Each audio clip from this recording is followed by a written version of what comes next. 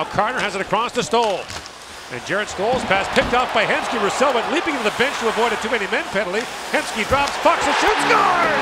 Radek Faksa fires it home, and Dallas takes the lead.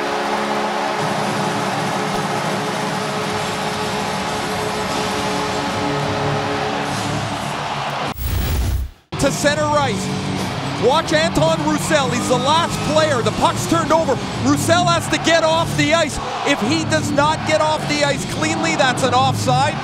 The Wild's video guys are taking a look. Look at the effort by Roussel. He sees that the play is coming into the zone. He hustles and jumps off the ice. Hemsky makes a sweet feed to Faksa. A wonderful shot for the rookie, and the Dallas Stars have a well earned 1 0 lead.